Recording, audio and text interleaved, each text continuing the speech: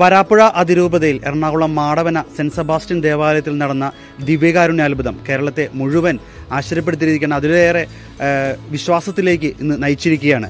കഴിഞ്ഞ ദിവസങ്ങളിലെല്ലാം രണ്ട് ദിവസങ്ങളിലായിട്ട് അതിന്റെ എല്ലാം വീഡിയോ സമൂഹ മാധ്യമങ്ങളിലെല്ലാം നാം കാണുന്നുണ്ട്. ഇന്നിപ്പോൾ ഗുഡ്നസ് ടി വി എത്തിയിരിക്കുന്നത് മാടവന സെന്റ് സെബാസ്റ്റ്യൻ ദേവാലയത്തിലാണ്. ഇപ്പോൾ ആ ഒരു ദിവ്യകാരുണ്യ അത്ഭുതം തിരുവോസ്തി രക്തമായി മാറിയത് നേരിട്ട് കണ്ട ഇടവകയിലെ വിശ്വാസി സമൂഹം നമ്മളോടൊപ്പം ചേരുകയാണ്. നമുക്ക് അവരോട് കാര്യം ചോദിച്ചറിയാം. ഞാൻ എന്റെ പേര് റീസ ജോർജ്. ഞാൻ ഈ മാടമന ഇടവകയിലെ പുറത്തുനിന്ന് കെട്ടിവന്ന വ്യക്തിയാണ്. ഇരുപത്തിനാല് കൊല്ലമായി.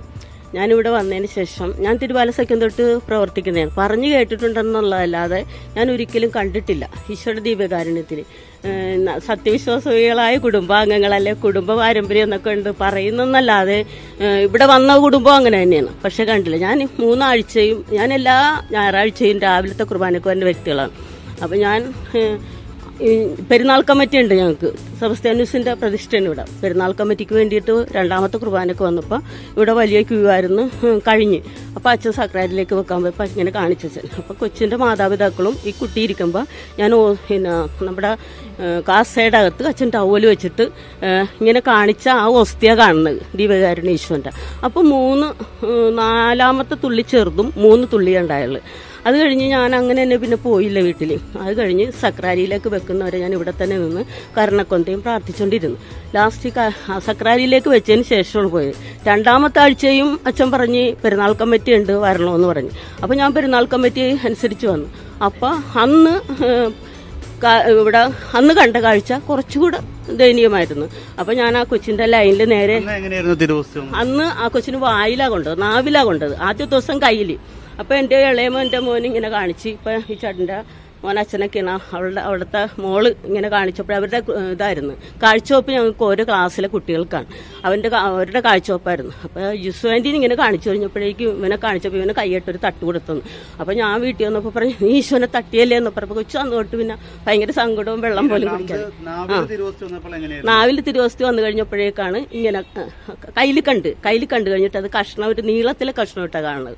അത് കഴിഞ്ഞ് ഇപ്പൊ മൂന്നാമത്തെ ആഴ്ച. വട്ടമായിട്ടുള്ളതല്ല ആ അപ്പൊ അച്ഛനോട് പറഞ്ഞ് തോണ്ടി വന്ന് പറഞ്ഞു കഴിഞ്ഞപ്പോഴേക്ക് അച്ഛൻ തിരിച്ച് ദീപപൂജയുടെ കർമ്മങ്ങളെല്ലാം കഴിഞ്ഞതിന് ശേഷം വന്നേച്ചു അച്ഛൻ ഇത് നാവിലേക്ക് തുപ്പി മേടിക്കണേത് നാവിൽ നിന്ന്. അപ്പൊ ബ്ലഡ് ഉണ്ടായിരുന്നു കൊച്ചിന്റെ വായിൽ ബ്ലഡ് ഉണ്ടായിരുന്നു. ഈ തുപ്പിയ ബ്ലഡ് ഒരു നീളത്തിൽ കണ്ട്. ആ, അപ്പൊ അതങ്ങനെ തന്നെ അച്ഛൻ കൊണ്ടുവന്നേച്ചും. അന്ന് കുറെ അധികം പേരെ കാണിച്ചു കഴിഞ്ഞ് ഒരു ഒന്നര മണിയോടുകൂടെ. ഞാൻ അത് കഴിഞ്ഞും ലാസ്റ്റ് സക്രാരിൽ അടക്കി പിന്നെ പോയത്.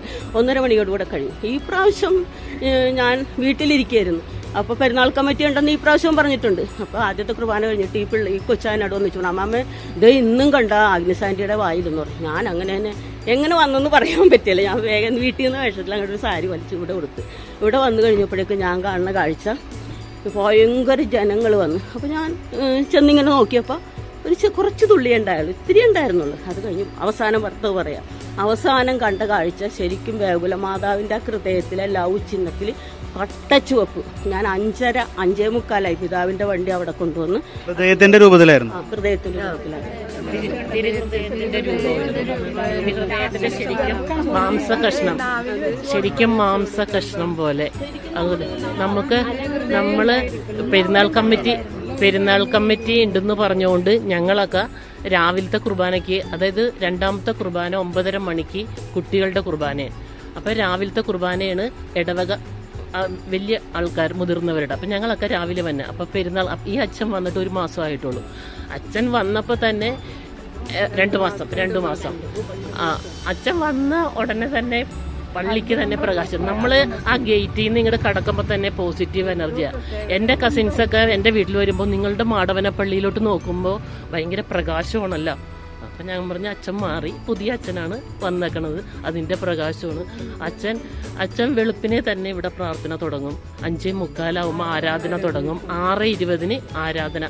അത് മൗനമായിട്ട് ഒച്ചപ്പാടും ബഹളം ഒന്നുമില്ല സൈലന്റ് ഒരു മുട്ടുസൂചി വീണാൽ പള്ളിയിൽ കേൾക്കാം. അത്ര പരിശുദ്ധമായിട്ടുള്ള ഒരു പ്രാർത്ഥന. അപ്പം ഞങ്ങളൊക്കെ ആറരക്ക് വന്നിരുന്നവരാണ്. എന്നും ആറരക്ക വന്നത്. പക്ഷേ ഇപ്പം അഞ്ചേ അമ്മ തന്നെ വീട്ടിൽ നിന്ന് പോരും. ആരാധനയിൽ പങ്കുകൊള്ളാനാണ്. അത്രയ്ക്കും നമുക്ക് ഒരു പോസിറ്റീവ് എനർജി പള്ളിയുടെ അങ്കണത്തിലോട്ട് വരുമ്പോൾ തന്നെ. ഈ ഇന്നലെ സംഭവിച്ചത് തിരുഹൃദയത്തിന്റെ രൂപത്തിലായിരുന്നു തിരുവോസ്തി ഉണ്ടായിരുന്നു. അത് മാംസം പോലെ. മാംസ കഷ്ണം പോലെ ശരിക്കും. ശരിക്കും ഒരു മാംസ കഷ്ണം അത് നല്ല ചുമപ്പ്. അത് നമുക്ക് പറഞ്ഞറിയിക്കുമ്പോഴാണ് ഞങ്ങൾക്ക് അതൊക്കെ കാണാനുള്ള യോഗ്യത അച്ഛനിലൂടെ ഈശോ തന്നതിന് ഞങ്ങൾക്ക് ഒത്തിരി നോക്കി. അപ്പൊ അത് അലിഞ്ഞില്ല. അങ്ങനെയാണ് അത് ഉരുണ്ട് വന്നത്. അലിയിക്കാൻ വേണ്ടി കുറെ പാടുപെട്ടു. ഈ ദിവ്യകാരുണ്യ അത്ഭുതം സംഭവിച്ച പെൺകുട്ടിയുടെ അമ്മൂമ്മയാണ്. അമ്മൂമ്മയുടെ പേര്? എന്റെ പേര് റോസിലി. എന്റെ ഇളയ മോൾ ജിനിത. മകളാണ്. ജിനിത ജെയിംസ്. അപ്പച്ചന്റെ ഭർത്താവിന്റെ ഭർത്താവിന്റെ പേര് ജെയിംസ്. മക്കളുടെ പേര് മൂന്ന് കുട്ടികളുണ്ട് അവൾക്ക്. ആദിന എലിശോ എന്നാണ് ഈ ദിവ്യാരണ്യം അത്ഭുതമായി കയ്യിൽ വന്ന് കുട്ടിയുടെ പേര് പത്താം പത്താം ക്ലാസ്സിൽ പൊന്നുരുന്നി സ്കൂളിൽ പഠിക്കണേ. ഒരു അതിന്റെ ഇളയ കുട്ടി എട്ടിൽ പഠിക്കണം ആൺകുട്ടി. അതിന്റെ ഇളയ ഒരു നാല് വയസ്സുള്ള എൽ കെ ജി പഠിക്കണം. പത്താം ക്ലാസ്സിൽ പഠിക്കുന്ന കുട്ടിക്കാണ് ഇങ്ങനെ സംഭവം? സംഭവിച്ചത്. സമയത്ത് അടുത്തുണ്ടായിരുന്നോ? ഞാനൊക്കെ രാവിലത്തെ കുർബാനക്ക് വന്നു പോകും ഇവിടെ അടുത്ത് തന്നെ വീട്. അപ്പം നമുക്ക് വെയിൽ വന്നാൽ വരാൻ പറ്റില്ലാത്തതുകൊണ്ട് രാവിലെ വരും. പിന്നെ രണ്ടാമത്തെ കൂട്ടാണ് കുട്ടികളുടെ കുർബാനയാണ്.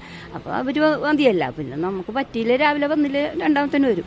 അപ്പോൾ ഞാൻ മണിയടി കേട്ടാ വന്ന. എന്ന് വെച്ചാൽ ഞാൻ ഓർത്ത് മീ പെരുന്നാൾ പ്രസന്ധിയിലുണ്ട് അടുത്ത വർഷത്തേൽ അപ്പം അതിന് മീറ്റിങ്ങിന് പറഞ്ഞിട്ടുണ്ടായി അച്ഛൻ. അപ്പം ഞങ്ങൾ ഓർത്ത് മീറ്റിംഗ് അപ്പം അച്ഛൻ ആദ്യമായിട്ട് ആണല്ലോ മീറ്റിംഗ് നടത്താൻ പോണേ. ഇവിടെ വന്ന് മാറ്റം വന്നിട്ട്.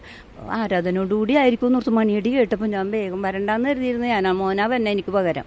അപ്പോൾ മണിയടി കേട്ടോടുകൂടി ഞാൻ വേഗം സാരി എടുത്തു കൊടുത്ത്. ഇവിടെ വന്ന് അപ്പോൾ ഞാൻ വന്നപ്പോൾ എല്ലാവരും പറഞ്ഞ് വെച്ച് പോയി സക്രാരിയിലെന്ന് പറഞ്ഞു. അപ്പോൾ കൊച്ചിന്റെ അമ്മൂമ്മയാണെന്ന് പറഞ്ഞപ്പോൾ അച്ഛൻ വേഗം ഒന്ന് എന്നെ കാണിച്ചു തരാൻ വേണ്ടിയിട്ട് എടുത്തു വെച്ചപ്പോൾ പിന്നെയും കുറേ ജനങ്ങൾ കൂടി വന്നു.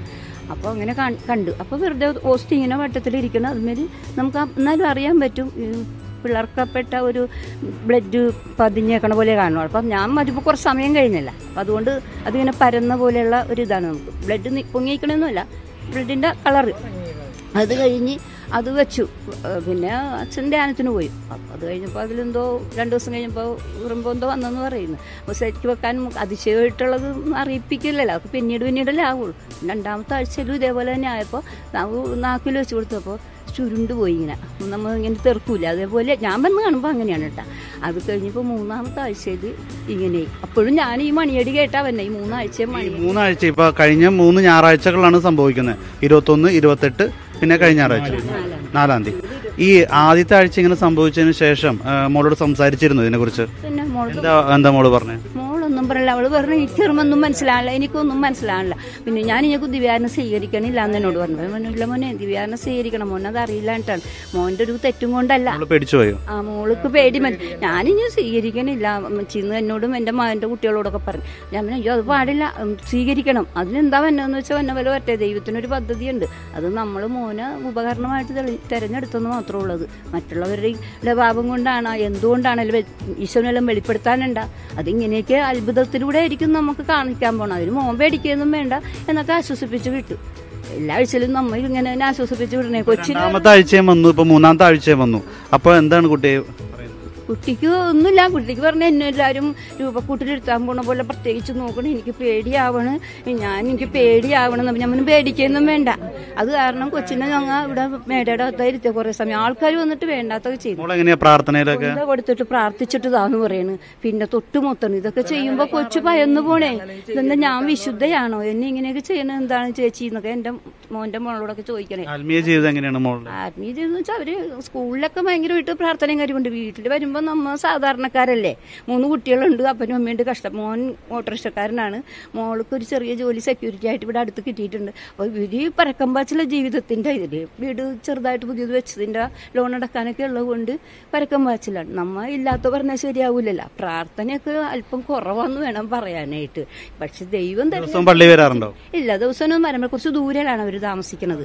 ഇടവകയാണ് ഇതാണെങ്കിലും ഇവിടെ അടുത്തായിരുന്നു വീട്. അന്നേരമൊക്കെ എപ്പോഴും വരുമായിരുന്നു ഒഴിവെള്ളപ്പ. ഇപ്പൊ അങ്ങനെ വരാൻ പറ്റണില്ല.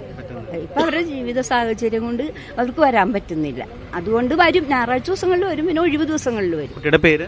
കുട്ടിയുടെ പേര് ആഗ്ന യതീശ്വ ആഗ്നയുടെ വലിയ അമ്മൂമ്മയാണ്. എന്ത് തോന്നുന്നു അമ്മൂമ്മയ്ക്ക് ഇപ്പോ? നമുക്ക് തോന്നുന്നത് ഈശോനെന്തോ നമ്മൾക്ക് വെളിപ്പെടുത്തി തരാനുണ്ടെന്നുള്ളത് മാത്രമാണ് ഞാൻ മനസ്സിലാക്കുന്നത് നമ്മ പ്രാർത്ഥന നമ്മൾ ജപമാല ചൊല്ലി പ്രാർത്ഥിക്കാന്ന് പറയും പ്രായച്ചിത്തം അനുഷ്ഠിക്കുന്നു പാത്യമയിലൊക്കെ പറഞ്ഞത് നമ്മൾ ബുക്കിലൊക്കെ വായിച്ചിട്ടുണ്ട്. അപ്പം അതുപോലെ ഞാൻ പറഞ്ഞു കൊടുത്തു മോനെ വീട്ടിൽ കരണക്കൊന്തയും പ്രാർത്ഥനയൊക്കെ ചൊല്ലണമെന്ന് പറഞ്ഞപ്പോൾ ഞാൻ ഞാൻ ചോദിച്ചു പ്രാർത്ഥന മുടങ്ങുമ്പോൾ ആ പ്രാർത്ഥന മുടങ്ങ മുടക്കുണ്ടെന്ന് പറഞ്ഞു. അപ്പോൾ എല്ലാവരും കൂടി ഒത്തുവരില്ല കാരണം അപ്പച്ചൻ ഓട്ടം കിട്ടുമ്പോൾ പോകും അമ്മ ജോലിക്ക് നൈറ്റ് പോകേണ്ടി വരും. അപ്പോൾ കൊച്ചുങ്ങൾ തനിച്ചാണ് ഈ മൂന്ന് കുഞ്ഞുങ്ങൾ തനിച്ചാണ് ഇതൊക്കെ ചെയ്യണം പതിനഞ്ച് വയസ്സ് പതിമൂന്ന് വയസ്സ് നാല് വയസ്സുള്ള കൊച്ചുങ്ങളുടെ അവസ്ഥ എന്താണ്? അതിന്റെ ഇടയ്ക്ക് ആടും പോത്തും അതും ഉണ്ട് കഷ്ടപ്പാടും ഉണ്ട് എല്ലാം വളർത്തണമുണ്ട്. അപ്പോൾ അങ്ങനെയൊക്കെ ജീവിച്ചങ്ങോട്ട് മുന്നോട്ട് പോകണം. അല്ലാതെ കൊറോണ കാലത്തായിരുന്നു അവരുടെ ദിവ്യാറിന് ആദ്യത്തെ സ്വീകരണം. അതിന് പോലും നമ്മൾ കൊച്ചുങ്ങളൊന്നും അവർ ആർഭാടമൊന്നും ചെയ്തില്ല. രാവിലെ ആറരക്കത്ത് കുർബാനയായിരുന്നു. ഞങ്ങൾ സഹോദരങ്ങളുടെ ഉടുപ്പാണ് ഈ രണ്ട് കൊച്ചുങ്ങൾക്കും ഇട്ട് അവർ നടത്തിയത്. ദിവ്യാരണം അതിന് പോലും ഇപ്പോൾ ആൾക്കാർ നാലായിരം പതിനായിരം കൊടുത്ത് മേടിക്കും. പക്ഷേ ഈ നാലായിരം രൂപയുടെ ഉടുപ്പ് ഒരു മണിക്കൂറിനല്ലേ ഉള്ളെന്നും പറഞ്ഞുകൊണ്ട് അവർ അത് ഇട്ടിട്ടാണ് ദിവ്യാരനെ നടത്തിയത് സ്വീകരിച്ചതൊക്കെ. ആറര മണിക്കത്തെ കുർബാന എന്താണ് ഈശോന് അവരുടെ അവരുടേത് മാത്രമല്ല നമുക്ക് ജനങ്ങൾക്ക് എല്ലാവർക്കും എന്തൊക്കെയോ വെളിപ്പെടുത്തി തരാനുള്ളതാണെന്നാണ് ഞാൻ മനസ്സിലാക്കുന്നത് ഞാൻ പറയണത്. എല്ലാവരോടും ഞാൻ ചോദിക്കുമ്പോൾ എന്നോട് പറയുമ്പോൾ കൊച്ചിന്റെ അമ്മമ്മയിൽ എന്താ കൊച്ചു പ്രാർത്ഥനയും കാര്യവും കൊച്ചിന് പ്രാർത്ഥനയും കാര്യവും കൊണ്ടൊന്നുമല്ല ഇങ്ങനെ സംഭവിച്ചത്. ഞാൻ പറയാം എന്റെ മോളാണ് ഇളയ മോളാണ്. പക്ഷെ അവരൊന്നും പ്രാർത്ഥനയുടെ ശക്തി കൊണ്ടൊന്നുമല്ല ഇങ്ങനെയൊക്കെ സംഭവിക്കുന്നത് ദൈവത്തിന്റെ ഒരു പദ്ധതിയാണെന്നാണ് ഞാൻ മനസ്സിലാക്കുന്നത് കാരണം ഞായറാഴ്ച ദിവസമൊക്കെ ചിലപ്പോൾ അവർ പള്ളി വരാത്ത ദിവസങ്ങളുണ്ട്. കിടന്നുറങ്ങിപ്പോകും കൊച്ചുങ്ങൾ രാവിലെ ചിലപ്പോൾ പിന്നെ ഈ ക്യാറ്റിസ് ഉള്ളത് കൊണ്ട് പേടിച്ചിട്ട് മുടങ്ങാതെ വരും. മോളാണെങ്കിൽ ചിലപ്പോൾ ഡ്യൂട്ടിയിലായിരിക്കും. ഏഴുമണിക്ക് കയറണം ഏഴുമണിക്ക് ഇറങ്ങണം ഇങ്ങനെയൊക്കെയുള്ള ഇതാ. അപ്പം അങ്ങനെയൊക്കെ അവരുടെ ഈ അവിടെ പോയി താമസിക്കാൻ തുടങ്ങിയ പോലെ കുർബാനക്കൊക്കെ ഈ ജോലിക്കും കയറിയ അഞ്ചാറ് മാസമായിട്ടുള്ളൂ ജോലി കയറി അതുകൊണ്ട് കുറച്ച് ഡിലേ ആർന്ന്. അത് അതുകൊണ്ടൊന്നും അല്ല ഈശോ ഇങ്ങനെ ചെയ്തേക്കണം. കാരണം ഈശോനെന്തോ പദ്ധതി ഉണ്ടെന്നാണ് ഞാൻ മനസ്സിലാക്കണത്. അത് വെളിപ്പെടുത്തണം നമ്മളെ. ഈ പ്രദേശത്ത് അതിന് ദേവാലയത്തിലൂടെ അത് വെളിപ്പെടുത്തി തരാനായിരിക്കും. ചിലപ്പം മനുഷ്യ മക്കളുടെ അഹങ്കാരം കൊണ്ടോ പാപം കൊണ്ടോ എന്താണെന്ന് നമുക്ക് മനസ്സിലാകണില്ല. എന്താണ് ഏതാണ് ഇങ്ങനെ വെളിപ്പെടുത്താൻ പോകുന്നത് ദൈവത്തിന് മാത്രമാണ്. തീർച്ചയായിട്ടും വലിയൊരു അടയാളമാണ്. അത് ഈ ഒരു മാടവന ഇടവയ്ക്ക് മാത്രമല്ല എനിക്ക് തോന്നുന്നു കേരളത്തിന് മുഴുവൻ എന്തോ ഒരു അടയാളമാണ് ഈ ഒരു തിരുവോസ്തി. കാരണം നമ്മളെല്ലാവരും തിരുവോസ്തി ഇങ്ങനെ രക്തത്തിലായത് കണ്ടിട്ടുണ്ട്. വിദേശ രാജ്യങ്ങളിൽ ഇറ്റലിയിൽ തിരുവോസ്തി വെള്ള രക്തത്തിലായി അല്ലെങ്കിൽ മാംസം ധരിച്ചു എന്നൊക്കെ. പക്ഷെ അത് നേരിട്ട് കാണാൻ ഒരു ഭാഗ്യം സിദ്ധിച്ച ഒരു ജനത്തിന്റെ മുമ്പിലാണ് ഇപ്പൊ ഞാൻ നിൽക്കുന്നത്. എനിക്ക് വളരെയധികം അഭിമാനം തോന്നുന്നു. ഈ ഒരു കാര്യത്തിൽ നിങ്ങൾക്ക് എന്ത് തോന്നുന്നു? ദൈവത്തിന്റെ ശക്തമായ ഇടപാടിൽ ഇപ്പോഴും ഈ സമൂഹത്തിൽ നമ്മുടെ ഈ ഇടവകയിൽ ഉണ്ടെന്നുള്ളതാണ് ഇപ്പൊ തോന്നുന്നത്. നിഷ്കളങ്കരായ പിള്ളേരുടെ ഇതിലാണ് കൂടുതലും ഇത് കാണപ്പെടുന്നത്. ദൈവത്തിന്റെ ഒരു ശക്തി. ഇപ്പൊ തിരുവിശുദ്ധ കുർബാനയൊക്കെ പലപ്പോഴും അവിശ്വസിക്കുന്ന ഒരു ഭാഗമുണ്ട് അല്ലെങ്കിൽ തിരുവോസ്തിയിൽ ഈശോ ഉണ്ടോ എന്നുള്ള ഒരു ഡൗട്ട് ഇന്നത്തെ ക്രൈസ്തവർക്ക് പോലും ഉണ്ട് പലപ്പോഴും. അതായത് കഴിഞ്ഞ മെയ് മുപ്പത്തിയൊന്നാം തീയതിയാണ് ഞങ്ങളുടെ സെബാസ്റ്റ്യൻ അച്ഛൻ ഇവിടെ ചാർജ് എടുക്കുന്നു. അത് കഴിഞ്ഞ് ഒരാഴ്ച കഴിഞ്ഞപ്പോൾ എന്നോട് ക്രൈസ് അക്രൈസ്തവർ ഹിന്ദുക്കളും മുസ്ലിങ്ങളും എന്നോട് ചോദിച്ചു എന്താ പള്ളിക്ക് ഭയങ്കര ഒരു വെട്ടം? വെട്ടം വേറെ ഒന്നുമില്ല ലൈറ്റ് ലൈറ്റൊക്കെ ഇട്ടിട്ടുണ്ട്. ലൈറ്റ് നന്നായിട്ട് ഇട്ട അച്ഛൻ അപ്പം പ്രകാശാത് തന്നെയാണ് ഞാൻ പറഞ്ഞത് അപ്പോൾ ഞാൻ ഞാൻ എന്നും മിക്കവാറും ഒരു അഞ്ചേ മുക്കാലിന് പള്ളിയിൽ വരും. പള്ളിയിൽ വരുമ്പോൾ അച്ഛനോടെ കുത്തിയിരിപ്പുണ്ട്. ഇത് നമുക്കറിയാൻ പാടില്ല. അപ്പം ഞങ്ങൾ കൊന്തയില്ല എന്ന് കുറച്ച് സഹോദരങ്ങൾ കൊന്തയല്ലും. അപ്പോൾ അച്ഛൻ പറഞ്ഞു കൊന്തയല്ലണ്ട. കുർബാന എഴുന്നൂറ്റി ചോദിച്ചേക്കും. നിങ്ങൾ മിണ്ടാണ്ടിരുന്ന് പ്രാർത്ഥിക്കുക. ആ പ്രാർത്ഥന ബലിച്ചു അതിന് യാതൊരു സംശയവുമില്ല. സത്യമാണ് ഞാനീ പറയുന്നത്. അച്ഛന്റെ ആ ഒറ്റ പ്രാർത്ഥനയുണ്ട് ഈശോ ഇവിടെ വരാനുള്ള കാരണം ആ കുട്ടിയിലൂടെ. ഞങ്ങളുടെ പള്ളിയിൽ കൊറോണ കഴിഞ്ഞ പിന്നെ കൊറോണയുടെ കാലഘട്ടം കഴിഞ്ഞ പിന്നെ ഞങ്ങളുടെ പള്ളിയിൽ നിറച്ചും ആളുണ്ടായിരുന്ന. കൊറോണ ഇങ്ങോട്ട് കഴിഞ്ഞ് പിന്നെ ആളില്ലാണ്ടായി. എല്ലാവരും യൂട്യൂബ് വഴി കുർബാന കാണലും കുർബാന സ്വീകരിക്കലും സ്വീകരിക്കലില്ല. അങ്ങനെ അങ്ങോട്ട് ഒരു കാലഘട്ടം. അത് കൊറോണ കഴിഞ്ഞ് പള്ളിയിൽ കുർബാന വെച്ചിട്ടും ആരും വരാനുള്ള ഒരു മനസ്സില്ല. പിന്നെ അങ്ങനെ പോയ ഒരു ഇടവകയല്ലായിരുന്നു. കാരണം ഇത് ഇപ്പൊ ഇരുന്നൂറ്റി മുപ്പത് വീട്ടുകാരേ ഉള്ളൂ ഈ ഇടവകയുടെ കീഴിൽ എന്തൊരു കാര്യം ഉണ്ടെങ്കിലും എല്ലാവരും കൂടി ഒറ്റക്കെട്ടായിട്ട് ഒരു മീറ്റിംഗ് വിളിച്ചാലും എല്ലാവരും ഒരേ സ്വരത്തിലും ഒരേ ഒരു സന്തോഷം. ഇവിടെ വന്നിരുന്ന അച്ഛന്മാരും അങ്ങനെയൊക്കെ തന്നെയായിരുന്നു. ഞങ്ങൾക്ക് ആദ്യമായിട്ട് വന്നത് ഷെൽബിൻ അച്ഛനാണ്. ഷെൽബിൻ അച്ഛനാണെങ്കിലും എന്റെ മക്കളൊക്കെ അന്ന് ഓൾട്ടർ ബോയ്സ് ആയിരുന്നു. ഒത്തിരി ആ പിള്ളേർക്ക് ആ ചൈതന്യം കിട്ടിയിട്ടുണ്ട്. അത് കഴിഞ്ഞ് ജോണച്ചൻ വന്ന് അത് കഴിഞ്ഞ് അങ്ങനെ ഓരോ അച്ഛന്മാരും മാറി വരുമ്പോഴും ആ പിള്ളേർക്ക് അതുണ്ടായി. പക്ഷേ ഈ അച്ഛൻ വന്നപ്പോൾ ഇവിടെ ഒരു ഇരുണ്ട് മൂടി കിടക്കണ ഒരു പള്ളിയായി അതായത് ഒരു കാട് പിടിച്ച് ഒരു ഒരു ചൈതന്യവും ഈ പള്ളിക്ക് ഉണ്ടായിരുന്നില്ലെന്ന് സത്യമായിട്ടും പറയാം. കാരണം അതുമാതിരിയാണ് ഈ പള്ളി ഇരുന്നു വെച്ചാൽ നമുക്ക് ഞങ്ങൾ തന്നെ എല്ലാ ദിവസവും വരുന്നത് കൊണ്ട് പള്ളിയിൽ വരണമല്ലോ എന്ന് വിചാരിച്ചു. പക്ഷേ ആണുങ്ങൾ ബൈക്കും കാറും ഉള്ളവരെല്ലാവരും അടുത്തടുത്തുള്ള പള്ളികളിൽ ആണ് പോയിരുന്നത്. ഇപ്പോഴും പോകുന്നവരുണ്ട്. പക്ഷെ നമുക്ക് നമുക്ക് അല്ല എല്ലാവരും എന്നല്ല ഇപ്പോൾ നമുക്ക് പക്ഷേ നമ്മുടെ ഇടവക പള്ളിയല്ലേ. നമ്മൾ മരിച്ചു കഴിഞ്ഞാൽ അടക്കണം ചെയ്യേണ്ട പള്ളിയാണ് അച്ഛൻ ഏത് കുർബാനയാണെങ്കിലും സാരമില്ല. നമ്മൾ ക്രൂശിത രൂപത്തിലോട്ട് നോക്കിയാണ്. നിൽക്കുന്ന വൈദികനല്ല പക്ഷേ ഇപ്പം അതല്ല. ഇങ്ങോട്ട് വരുമ്പോൾ ഒരു പോസിറ്റീവ് എനർജി നമുക്ക്. നമുക്ക് ഒത്തിരി ഒരു മനസ്സ് നിറഞ്ഞ് ഭക്ഷണം കഴിച്ചില്ലെങ്കിലും നമുക്കൊരു ക്ഷീണമില്ല. അതുപോലെ നമുക്ക് വീട്ടിൽ ചെന്നാലും പ്രാർത്ഥിക്കാനായിട്ട് ഭയങ്കര ഒരു ശക്തിയാണ് അച്ഛനിലൂടെ ഞങ്ങൾക്ക് കിട്ടിയത്. ഞങ്ങൾക്ക് ഈശോ തന്ന ഒരു വലിയൊരു നിധിയാണ് അച്ഛൻ. അതിലൂടെ ഞങ്ങൾക്ക് ഈശോ വെളിപ്പെടുത്തണമെന്നാണ് ഞാനും ഞങ്ങൾ കുറച്ച് പേര് മനസ്സിലാക്കണം അച്ഛനിലൂടെ ഞങ്ങൾക്ക് ആ കുഞ്ഞിലൂടെ വെളിപ്പെടുത്തി തന്നേക്കണേണ്. ഞാൻ ഇവിടെ ഉണ്ട് നിങ്ങൾ ഇനി ഭിന്നിച്ചു പോകരുത്. വിതുമ്പിപ്പോയി അന്ന് ഈ സംഭവം ഉണ്ടായിരുന്നു ഫസ്റ്റിൽ. അച്ഛൻ ഇങ്ങനെ ആയാസപ്പെട്ട് കയറുന്നതാ ഞാൻ കണ്ടത്. അപ്പൊ ഞാൻ ഓർത്ത് അച്ഛൻ എന്തോ സുഖമില്ലാഞ്ഞിട്ടാണെന്ന് ഓർത്താണ് ഇരുന്നത്. പക്ഷെ അച്ഛൻ ഇത് പറയാനുള്ള ഇതുപോലും ഇല്ല. അച്ഛൻ ഇങ്ങനെ വിതുമ്പണായിരുന്നു. ഇത് ഞാനൊരു ആറാമതായിട്ട് ഞാൻ ചെന്ന് കാണുമ്പോ ഇത് ഇങ്ങനെ ബ്ലഡ് മയത്തിൽ ഇങ്ങനെ ഇരിക്കണേന്ന്. എന്നിട്ട് എനിക്ക് അവിടെ നിന്ന് കണ്ണീരൊഴുക്കാതെ ഇങ്ങോട്ട് എത്താൻ പറ്റുന്നുണ്ടായില്ല അത്രയ്ക്കൊരു ദൈവാനുഭവമാണ് ഉണ്ടായത്. കരഞ്ഞ അച്ഛൻ വെറുച്ചുകൊണ്ടാണ് പറഞ്ഞ് ഞങ്ങളോട് ജനത്തിനോട് പറയാൻ പറ്റണില്ല അച്ഛൻ. അത്ര അച്ഛൻ ആൾക്കാരിൽ നിന്ന് കരഞ്ഞു. അത് കഴിഞ്ഞ് നമ്മൾ കാണാവര് കാണാവര് കരഞ്ഞു വലിയ വലിയ താഴെ ഇറങ്ങി വന്നത്. പറഞ്ഞ മാതാനപ്പള്ളിയുടെ ഭാഗ്യമാണിത്. ഞങ്ങളിത് എന്നും കേട്ടിട്ടല്ലേ നമുക്ക് വിശ്വാസ തകർച്ച വന്നുകൊണ്ടിരിക്കുന്ന ഒരു കാലഘട്ടമാണ്. ഇതിനെ ഊട്ടി ഉറപ്പിക്കാനായിട്ടുള്ള വലിയൊരു ഉദാഹരണം മാതാനപ്പള്ളിയുടെ ഭാഗ്യമായിട്ടാണ് ഞങ്ങൾ ഇത് കരുതുന്നത്. നിങ്ങളുടെയൊക്കെ ഒരു പ്രായത്തിലുള്ള ഒരു അല്ലെ? ഒരു ഉള്ളൊരു കുട്ടിക്കാണ് ഇങ്ങനെ ഒരു അത്ഭുതം അല്ലെങ്കിൽ ഈശോ ഇങ്ങനെ തിരുവസ്തി മാംസമായി മാറിയത്. എന്താ തോന്നുന്നു? സന്തോഷം. ആ കണ്ടായിരുന്നു. മൂന്നാഴ്ച ഞാൻ കണ്ടായിരുന്നു രണ്ടാമത്തെ കുർബാനക്ക്. ഞങ്ങൾ പാടാൻ നിൽക്കണായിരുന്നു അപ്പൊ ഇങ്ങനെ ആദ്യത്തെ ദിവസം നോക്കിയപ്പോൾ അവിടെ എല്ലാരും കൂടി ഭയങ്കര കൂട്ടം കൂടി കൂടിയിരിക്കണം. അപ്പൊ ഞങ്ങൾക്ക് വിചാരിച്ച എന്താണെന്ന്. പിന്നെ അച്ഛൻ കരയണണ്ട് എപ്പോഴാ മനസ്സിലായ ഇങ്ങനെ അത്ഭുതം നടന്നു എന്നുള്ളത്.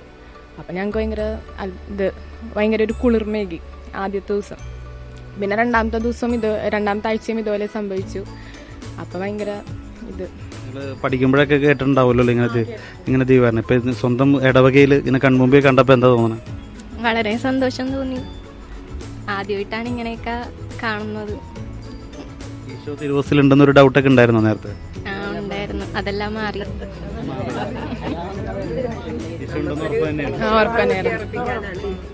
നമ്മുടെ വിശ്വാസം ഊട്ടി ഉറപ്പിക്കാനാണ് ഈ ഒരു സംഭവം എല്ലാവരും അത് ഉൾക്കൊള്ളുന്നു ഇനിയും അത് ഞങ്ങൾ തുടർന്നുകൊണ്ട് പോകും. എല്ലാവരും തന്നെ.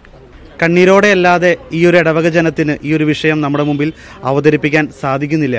വിദേശ രാജ്യങ്ങളിലുമെല്ലാം ഈശോയുടെ തിരുവോസ്തി മാംസമായി രക്തം കണ്ടു എന്നൊക്കെ ഇവർ കേട്ടും കണ്ടും അറിഞ്ഞെങ്കിലും നേരിട്ട് സ്വന്തം കണ്ണുകൾ കൊണ്ട് കാണുന്ന ഇതാദ്യമാണ്.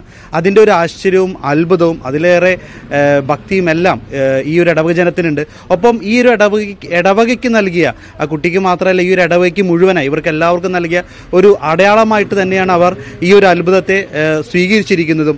അതോടൊപ്പം തന്നെ ഈ ഒരു ഇടവകയിലെ വികാരിയച്ഛന്റെ പ്രാർത്ഥനയും ആത്മീയതയും എല്ലാം ഈ ഒരു ഇടവചനം ഒരുമിച്ച് അച്ഛൻ വന്നതിന് ശേഷം ഈ ഇടവയ്ക്കുണ്ടായ മാറ്റങ്ങളൊക്കെ പ്രത്യേകം എടുത്തും പറയുന്നുണ്ട്.